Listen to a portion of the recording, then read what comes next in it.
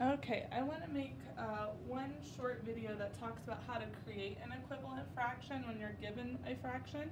Okay, so if you have not watched the video on how to tell if a fraction is equivalent or not, that might be a good video to review as well.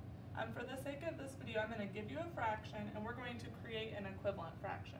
So the, the way to do that is take your fraction, let's use 3 fourths, and you're going to multiply the top and bottom number by the same amount. And it doesn't matter what that amount is as long as the top and bottom are the same. So I could do top and bottom times 3. Numerator 3 times 3 equals 9. Denominator 4 times 3 equals 12.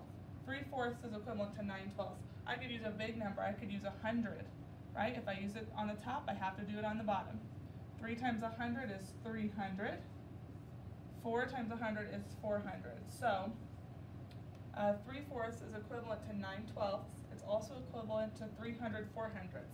And there's many other things you could create that are equivalent as long as whatever you multiply to the top, you also do at the bottom, okay?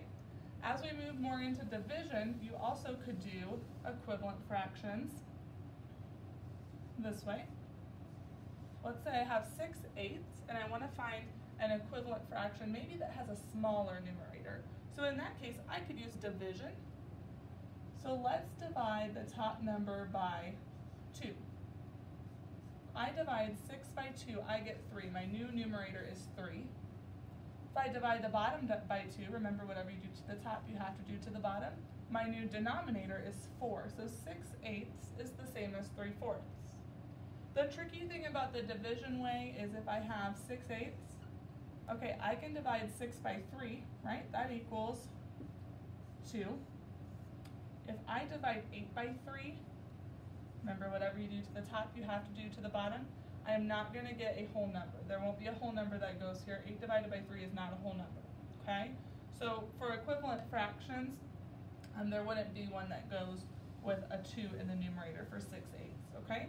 So you can use either division like this, or you can multiply the top and bottom by the same amount to create an equivalent fraction.